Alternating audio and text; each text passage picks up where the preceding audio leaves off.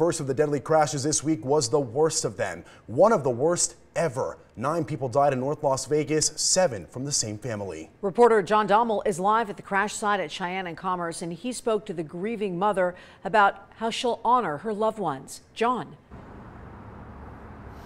Hey guys, I sat down with the mother just a couple of hours ago and you know she's absolutely overjoyed with the love and support that she's been shown coast to coast and that's the makeshift memorial there at the intersection that continues to grow with each passing day and the plans for the funeral service have been finalized. That GoFundMe had a goal of $150,000 and ended up doubling its target in just days. Erlinda Zacarias lost her entire immediate family in the crash and the youngest being 5 years old and she couldn't believe believe how much support the community has shown her. It's so surprising. I see a lot of a lot of from everywhere, and and this is.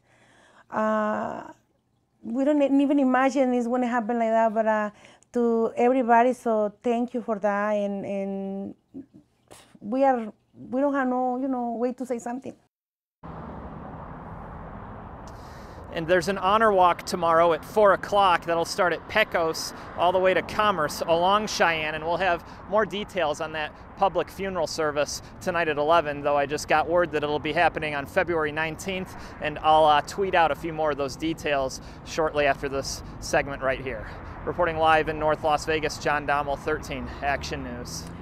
John, thank you. Well, double digit deaths on local roads this week our top story is a sobering look at dangerous driving here in Las Vegas. The carnage started Saturday with the crash that killed nine people, and the death toll kept rising from there. 13 Chief Investigator Darcy Spears exposes a dangerous combination of more deaths and fewer state troopers. You'd think the January 29th crash that claimed nine lives would give drivers in our community pause cause them to slow down, pay attention, and make better choices on the road. Unfortunately, that message does not seem to have gotten through. This fresh memorial near Windmill and Torrey Pines is a sobering reminder of the reality of driving dangerously.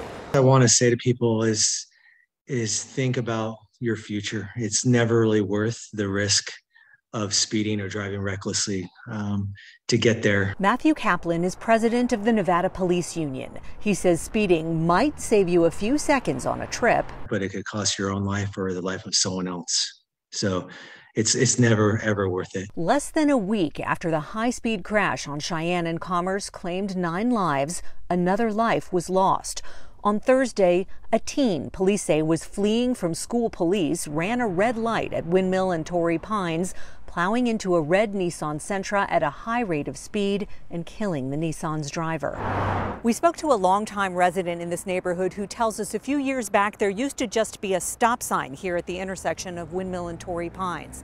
He was hopeful that when the stop light came in, it would curb reckless driving, but says it hasn't made a dent. People still speed every day and often run the red light. Looking back just one day before this South Valley crash takes us to Wednesday, February 2nd. Shortly after 6 a.m. on Boulder Highway, a driver veered off the road, hit a median barrier, then a wall, causing the Ford Focus to flip and killing the driver. A passenger suffered serious injuries. As we've reported, last year was one of the deadliest on Nevada roads with more than 380 people killed. That deadly trend is national. Federal data shows increased auto related fatalities since the pandemic's onset. Fewer people on the roads meant more room to drive faster, way too fast. There were also more DUIs, and police say a near total disregard for safety. But what is uh, being seen besides the high speeds?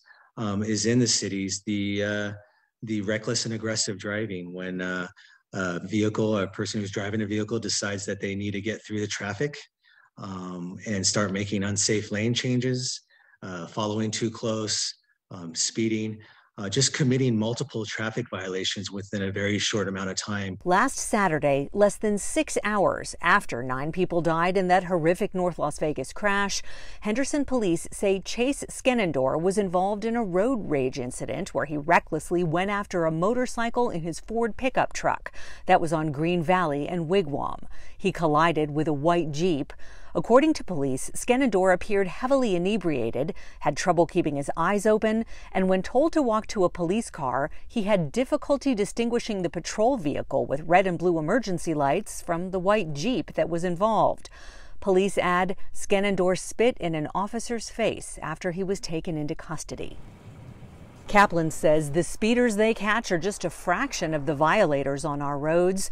Nevada Highway Patrol says it's understaffed, and that has a spillover effect. It's clear that if uh, there aren't troopers on the highway stopping problems and uh, addressing issues there, um, those issues uh, eventually leave the highway and the interstate and drive onto the surface streets. And then it is something that a local uh, county or city agency will have to deal with.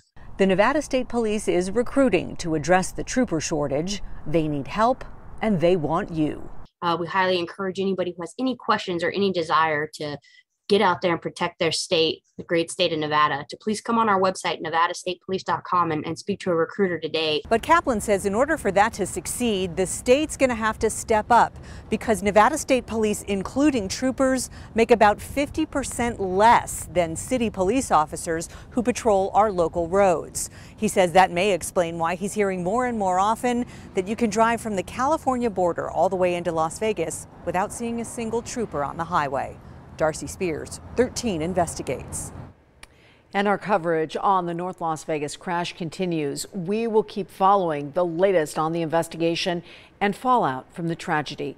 Head on over to our website at ktnv.com slash North Las Vegas crash. New video captures a moment a high school student was beaten repeatedly by another student in the classroom. And before we let you see this video for yourself, we want to warn you this may be disturbing. Now parents turn to social media to express their outrage and you can just see right there that classroom student constantly beating down on that other individual. The mother of the three CCSD high school students, Anna Binder, says as any mother would, her immediate reaction was to find out if she was okay. Now she says she can't believe no one helped her. And the video shows again that girl who has punched in the head repeatedly and someone in the video who possibly was a teacher tells a student punching to stop while extending her arms to her but the girl does not stop. Initially, nobody helped her. The, the one student, even trying to help, um, put very little effort into um, helping her fellow student. After watching that video, I just, I don't know, I felt weird. I was like, oh my God, you know? Like, I was just like, I couldn't watch it no more after that. They, you could hear the punches in the video and how loud they were, and she just didn't stop. Now, that attack happened at Las Vegas High School, and we called the school, and an administrator says they sent an email this Wednesday to address a situation with parents. Now, CCSD says in part, quote, school administration is aware of the matter and is taking this incident seriously. Now, after watching the video, parents are raising concerns about the safety of their students. Yeah, and understandably, that's so concerning. And a person taking that type of pounding could potentially have permanent damage to the brain, no matter the age group. And we spoke with Dr. Brandon Sneed with Nevada Sports and Spine, who says it appears that the student lost consciousness. Once she lost consciousness, we know there was a, a change in her mental function and then just the additional strikes after that makes everything worse. But uh, there have been plenty of boxers who have been punched in the back of the head and have either passed away or had lifelong changes, traumatic brain injury um, with, you know, permanent impairment to their function. And Dr. Sneed says the effects from this could be anywhere from difficulty walking or inability to walk or loss of speech function. A full recovery could be possible. Well, we're going to turn it over to 13 First Alert meteorologist Dani Beckstrom. And Dani, as people are getting ready to head out the door to maybe go out to dinner or just enjoy a nice evening, what can they expect? Cool conditions tonight, Abel and Trisha, but we are continuing this warming trend into our weekend, which is good news with all the big events happening. Right now, 52 degrees at Reid International after hitting high 56. We did come in 5 degrees below normal today with a cool Friday night. 40s already in West Henderson, and we do expect 40s across the board for the valley as we head towards 7, 8 o'clock tonight. So that's what you should dress for if you do have those dinner plans, but no other weather worries. The sky is clear, the wind is calm, so it's just the cold that we expect tonight. Our lows will fall to the 30s again ahead of sunrise sunrise tomorrow, but nice to see our highs back near the seasonal average for our Saturday 61, the forecast high. By Sunday, we're bumping above normal. And if you think 65 looks mild, wait until you see what we have ahead of us this week. Uh, details on the warming trend that takes us right into next Tuesday and Wednesday coming up in just a few minutes. Dani, thank you so much. Right now, the city of Las Vegas is welcoming the NFL's biggest stars with the marquee takeover. Resorts along the strip lighting up with signage to welcome the 2022 Pro Bowl to the entertainment capital of the world. And of course, the game is happening this Sunday inside Allegiant Stadium, and the NHL All-Star Game is happening tomorrow. You can watch both right here on Channel 13. And after the games, we will have special edition newscasts tomorrow and Sunday. And Henderson is putting on a big party with the NHL All-Star Game in Southern Nevada. The city closing Water Street between Atlantic Avenue and Basic Road until 11 o'clock tonight for the NHL Street Festival. And this is a live look right now at that festival. Drivers are asked to take alternative routes while the event is happening. Well, celebrating the past and looking forward to the future. Las Vegas is ready to shine with the NHL All-Star Game and the Pro Bowl being held this weekend, and it's bringing fans from all over. That's right, and something to check out is the NHL Black History Tour. 13 Action News sports reporter Tina Wynn joins us from NHL Fan Fair to show more on this inspiring museum. Tina. Yeah, hey Trisha and Abel. Inside this massive trailer is where you'll find inspiration for generations to come, and it's traveling all across the nation, giving fans a peek at the black players who have shaped hockey history. Past, present, and future. Kwame Mason is on a mission to show you those who brought some soul to the ice. It's dedicated to Willie O'Ree, the first black athlete to play in the National Hockey League in 1958.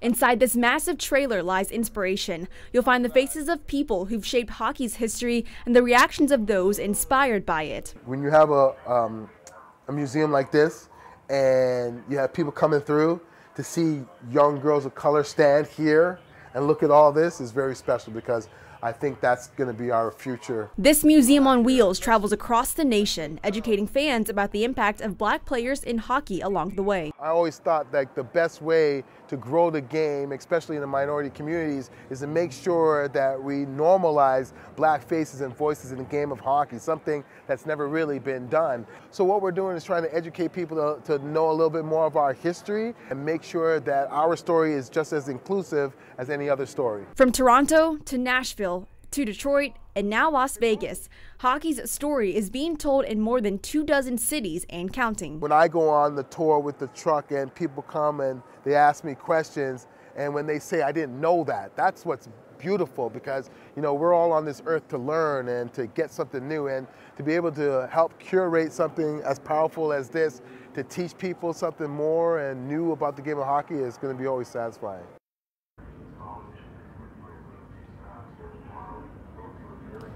And from Val James, Willie O'Ree, and Herb Carnegie, these are three key players who have impacted the game, and you can learn all about them this weekend right here at NHL Fan Fair. Trisha and Abel? All right, Tina, thank you so much. Looks pretty cool. It, we, we were both down there yesterday. It was a lot of fun. Most certainly. It was so much fun to see just everybody and kind of getting ready for this weekend as it's a very big weekend. Two major sporting events right here in the Valley. It's exciting. Well, coming up on 13 Action News Live at 6, shattering glass ceilings in education. How this local black history maker is making a huge difference in our community. And then still ahead at 6.30 tonight, starting an industry here in the Valley, how one Nevada built company help bring in rolling shutters to the Silver State. Welcome back tonight. Well, breaking barriers in the biggest of ways at the highest levels of education. All month long, we're showcasing black history makers. And tonight, reporter Alicia Patillo shows us the woman setting new standards at Nevada State College. I was very struck by uh, Vice President Kamala Harris when she offered her uh, acceptance speech at the Democratic Convention when she talked about the fact that she may be the first, but she won't be the last. And I often think that same thing for me in this role of coming into Nevada. First, she will be hooded with the presidential regalia by her wife Robin and her son Miles. From the south side of Chicago, to the president's chair at Nevada State College. Pollard was just a brown skinned girl from the Midwest with big dreams. Growing up in poverty didn't stop her. A strong foundation of community built her, and a devoted father carried her. Resilience became her middle name, and education was at the core. Education was going to be my pathway out. And I struggled. There were points in my academic history when we were trying to figure out what the heck was going on with me. Uh, but we stuck with it, persistence. And that was an important part about that. Persistence landed her here. It is my honor to now introduce the eighth president of Nevada State College, Dr. DeRionne Pollard.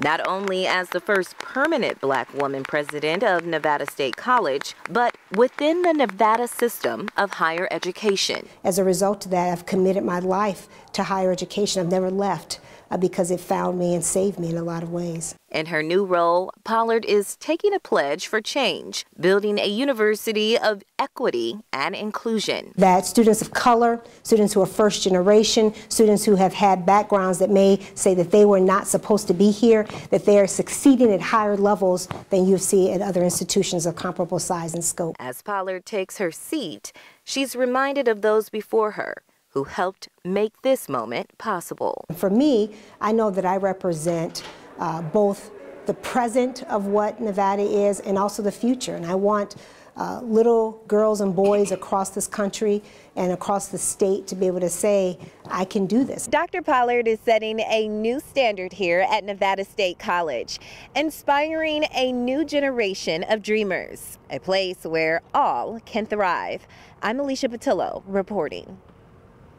What an incredible accomplishment there. Well, you can read more about Dr. Pollard's journey to president of Nevada State College at ktnv.com forward slash Black History Month. Yeah, she certainly is an inspiration. Well, coming up on 13 Action News, securing the bag for a visitor at TI, why one slot machine player and casino personnel did not realize he hit a jackpot. And still ahead at 6.30, meeting the stars of the NHL. What some Golden Knights are saying about the festivities here in the Valley. We'll be right back.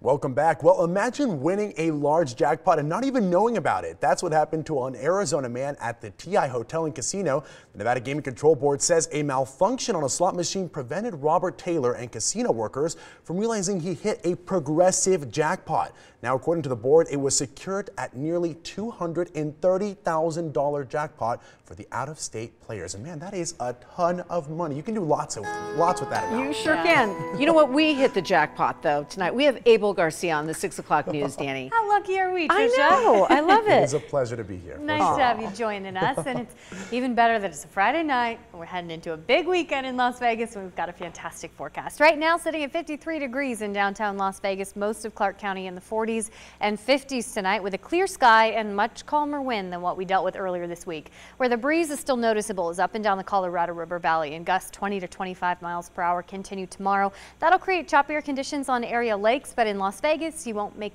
uh, you won't notice the breeze making a comeback until Sunday.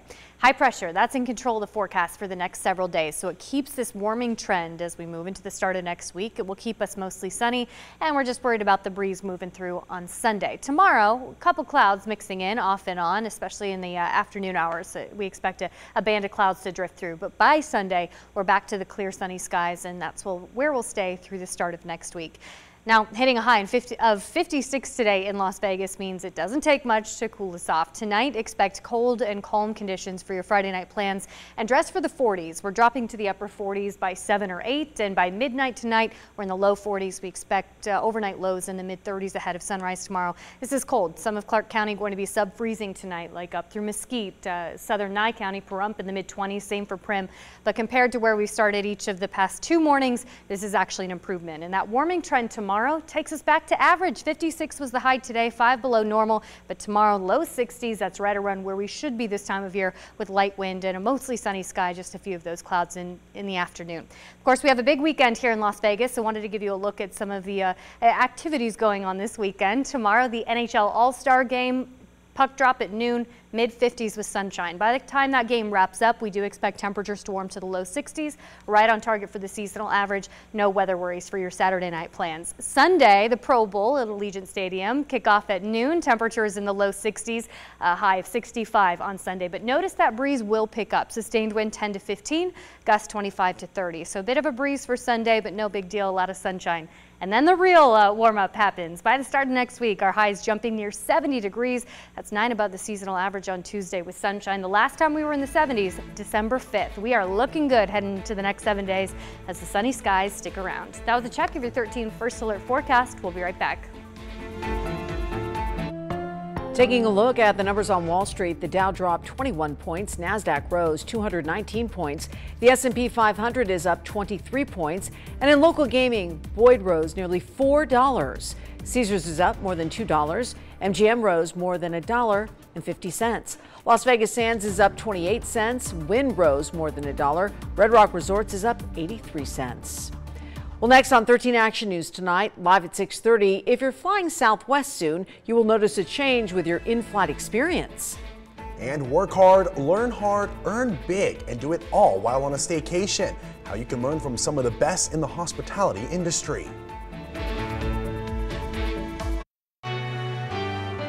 Big sports weekend calls for Media Day for the All-Stars. What some of our very own Golden Knights are saying about the All-Star experience. And the young hockey player also getting a shot to be treated like an all-star. But how much has a youth hockey participation grown? And education, staycation, and experience all in one. How you can learn from some of the best in the hospitality industry. I'm Trisha Keene. And I'm Abel Garcia. 13 Action News Live at 6.30 starts right now. Now, 13 Action News at 6.30 on air and streaming live. Big sports weekend is here, NFL Pro Bowl, and in less than 24 hours away now from the 2022 NHL All-Star Game airing right here on KTNV. And to kick things off, Media Day was held this morning inside the Waldorf Astoria. 13 Action News sports reporter Tina Wynn joins us live from the NHL Fan Fair. And Tina, how excited are the players to be here in Las Vegas? Yeah, hey Abel and Trisha. The guys are more than excited for this one. VGK defenseman Alex Pietrangelo mentioned at Media Day earlier today how Vegas is pretty easy to show off, and I got I gotta agree with him on that one. The Vegas Golden Knights will be well represented this week, and Captain Mark Stone will be playing in his first NHL All-Star game. Defenseman Alex Pietrangelo will, will be making his third All-Star appearance. You'll also be seeing Pete DeBoer behind the bench as he'll be the coach for the Pacific Division. In addition, the Golden Knights will also have another representative in Jonathan Marchessault as he was added to the All-Star roster earlier this week. Uh, it's it's incredible. Um, when they named the game here, um, it was a year year and a half ago. Um, I couldn't wait. I uh, really wanted to be a part of it. I would do anything to be a part of it, um, especially being my first All Star game, doing it uh, uh, in the best building in the world. Um, you know, with these fans, it's going to be pretty special. You get to kind of show off the city. I mean, pretty easy to show Vegas off. Everyone, you know, kind of knows what it is, but you get to really get an appreciation for how much of a hockey, you know, city it's become, and uh, that's the one thing I'm looking forward to people seeing. And another thing the guys have been mentioning is that they're pretty excited to be sleeping in their own beds this week and not having to travel across the country. But hey, no better place to have the All Star game and the Pro Bowl right here in Las Vegas. And you can also watch both of those games right here on KTNV. Trisha and Abel. All right, Tina, thank you so much. Well, all weekend long, the Vegas Golden Knights are celebrating youth hockey with several events for boys and girls all across our valley. And our 13 Action News reporter Rachel Moore has lots on what your kids can look forward to this weekend. Well, there already was a solid hockey community here in Las Vegas before the Golden Knights came to the Valley, but since then, youth hockey has exploded, especially among young girls. It's an exciting time for girls hockey and, and a lot of opportunities for them to get in the game and play here. Thursday night, the Vegas Junior Golden Knights stormed City National Arena ahead of NHL All-Star Weekend. The girls skated in a skills competition and even got a video greeting from members of the U.S. Women's Olympic team. In Nevada, youth hockey participation has increased by 200%, girls hockey growing the fastest. We're out there now, you're seeing girls out there, you're seeing women coaches out there. Um, with the success of our team on like Instagram pages and Facebook pages, you're seeing girls playing hockey. Having All-Star Weekend here in the Valley solidifies the city's commitment to the sport, ensuring future generations continue its legacy. It just elevates the, the exposure to the game, and for the kids, they get to go see the Stanley Cup at, at Fan Fair. Uh, they get to watch the, the superstars do their thing in, in a casual atmosphere with their helmets off off uh, and not be so intense, and then the, the fun of the game. So I think there's there's so many different uh, elements uh, to having the, the for the kids to be able to see their heroes on the ice, whether they're Golden Knights or they're other players. Tonight, hundreds of boys and girls will be introduced to hockey at a street ball clinic over at Lifeguard Arena in Henderson. They will also watch the All-Star Skills competition on the screens there. And then over the weekend, there are several Learn to Skate events scheduled at City National Arena, and all of it wrapping up with a watch party on the video board at Lifeguard Arena. So it should be a lot of fun for families looking to enjoy the big weekend. In studio, Rachel Moore, 13 Action News. Definitely going to be a very busy and exciting weekend. And Dani, I mean, midway through the week, we kind of had lots of winds, very, very yeah. strong winds for the most part. Today was actually quite beautiful out there for, for overall. Yeah, perfect timing heading into the weekend with the big events happening. The wind has settled down, the temperatures are warming up, and we're all good this weekend. Right now, 52 degrees, three warmer than this time yesterday. Not much of a breeze out there, but it will get cold in the next couple of hours. Dress for 40s for your Friday night plans. The wind not contributing to the chill quite as much. The sky stays clear, but after midnight, we're going to drop into the upper 30s with lows in the mid 30s ahead of sunrise tomorrow morning. So the weekend weather headlines calm and cold tonight. Seasonal tomorrow, highs jump back to the 60s with sunshine and a few clouds. By Sunday, we're back above the seasonal average with the sunny skies holding into the start of next week. The warming trend doesn't stop Sunday. I'll let you know where highs climb by next Tuesday coming up. Dani, thank you. Now to a developing story. A plane makes a hard landing at Reid International Airport. Now you're taking a live look right there at the airport, and officials say a Sun Country plane that was en route to Minneapolis had to turn around due to issues with the landing gear. Now this happened around 1 in the morning, and the plane landed right here at Reid International Airport, and the landing gear collapsed right after. Now, there were 56 people on board. Thank goodness no one was injured, and the NTSB says it is monitoring the situation but not investigating at this point. Attention students, if you want to work and live at a casino this summer, you can. Station Casinos announced the return of the internship program. The 12-week internship starts this summer and pays $15 an hour. It also includes meals and housing. The program is happening at Red Rock, Green Valley Ranch, and Sunset Station. We have a link to apply on our website at ktnv.com/links. honoring heroic donors in our community. Each year, the Nevada Donor Network has hosts a remembrance ceremony to honor each person who passed away during the year and saved lives through donations with their organs. 13 Action News exclusively spoke to Catherine Guyett, the mother of a 15-year-old Lauren who passed away from a stroke and was able to save two lives through the donation of her kidneys. She shares what this event means to her and her family. I'm excited, and I'm excited that um, I can be there for other families and ask them about about their loved one. And hearing the stories about their family members or their loved ones is uh, healing to me as well. They will help save a life out there. And my daughter's a hero. She saved two lives. And if you would like to become an organ donor, there are two different ways to do so. Next time you're at the DMV, just check yes to the organ donation box or head to the Nevada Donor Network website and you can register there. Well, staying strapped up and safe, why Tesla owners need to listen up about a safety recall. And changes coming for school lunches when this might be rolled in for students. Those stories and more coming right up. Welcome back. Well, if you drive a Tesla 2021 and 2022 Model X, S, 3, and Y, listen up.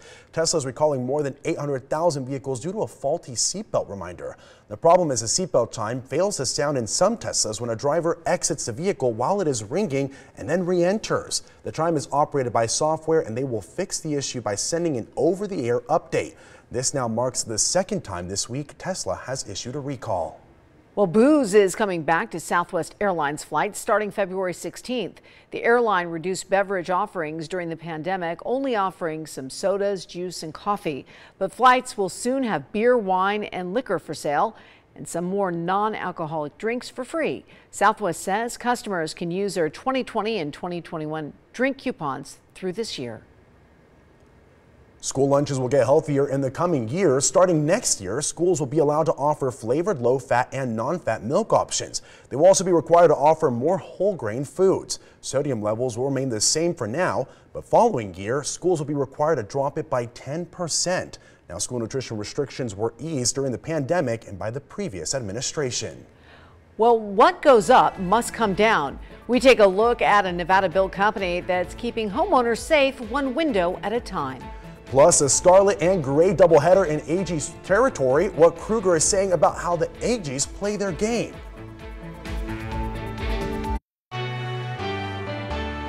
For golfers in the Valley who have ever hit a bad shot and were spared breaking a window thanks to shutters on someone's home, you may have a Nevada built company to thank. That's right. Anchor Todd Quinones takes us to the family business that helped start an industry right here in the Valley.